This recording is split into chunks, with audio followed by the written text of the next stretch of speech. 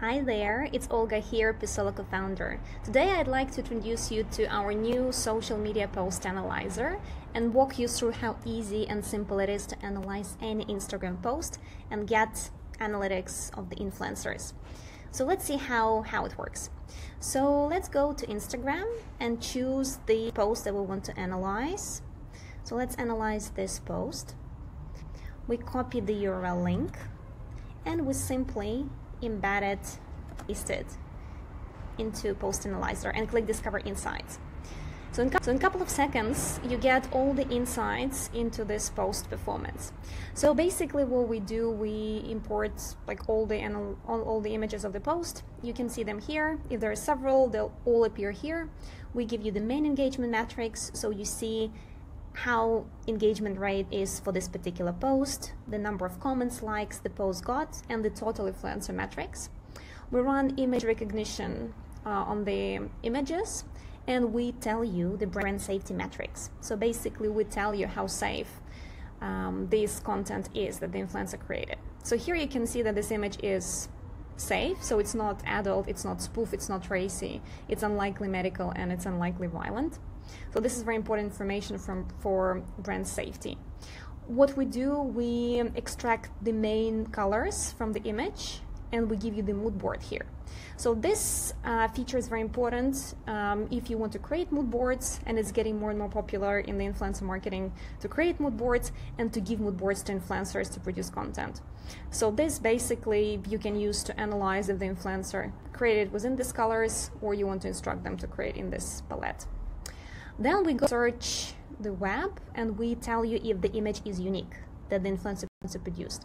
Very often influencers are using and reusing images for various different purposes. So here we tell you how the produced image is unique. So we go, we search the web on all similar posts and we can see that there is nothing similar and that the image is unique. We of course extract the image web reference from the post, right? So we read the objects and we yeah, we read even the labels of the brand.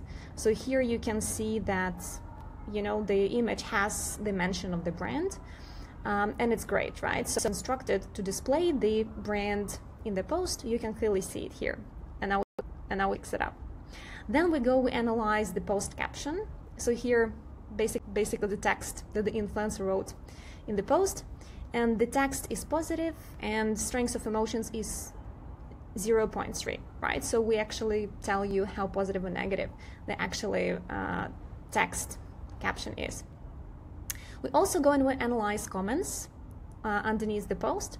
So this post generated 102 comments. We analyze all of these comments and we tell you how negative or positive the response from the audience was. And these comments were analyzed as super positive with high strength of emotion.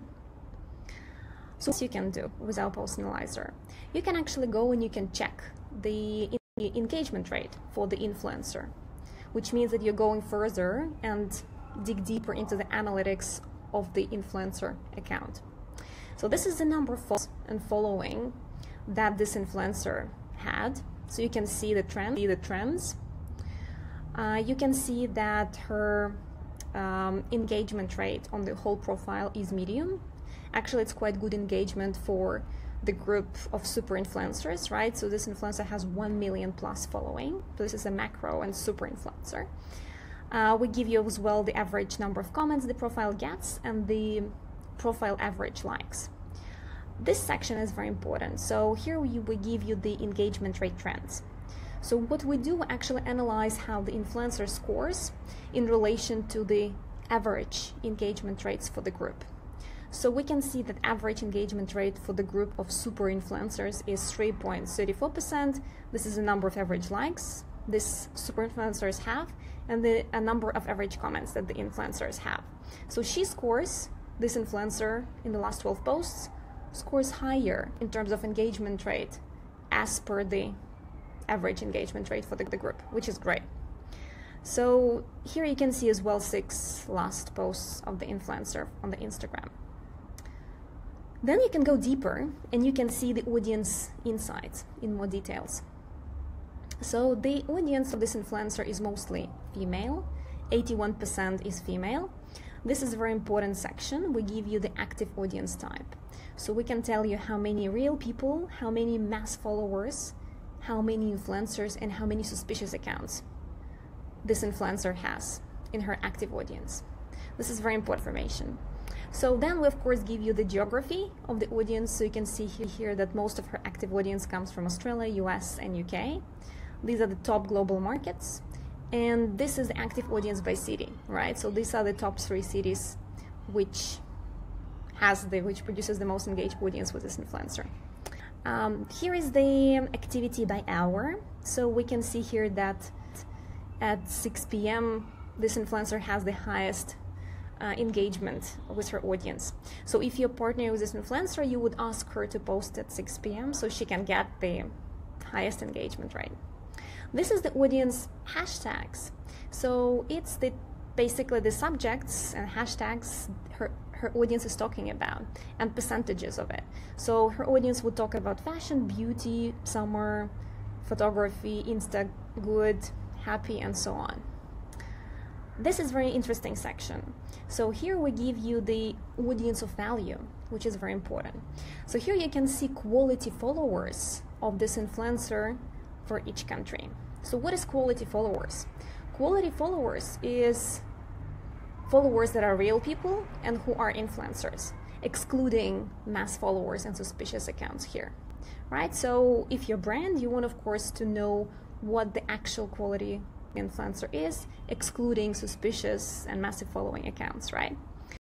So you can see here that um, this influencer has this amount of quality followers in Australia, and then the percentage of her audience of value basically in Australia.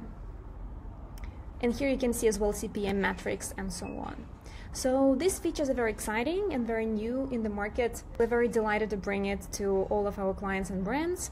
So you can easily use this, use this analytics before the campaign. So at the stage of planning, when you want to audit influencers and choose who is the best one to partner with. And of course, you can use these tools to analyze the performance of the influencer when you run or after you completed the campaign. So simply just hop on Persollo and copy paste any URL from any Instagram and check out the analytics. Or of course email me at olga at persollo.com. I'm always happy to give you demos and yeah, answer all your questions. Bye!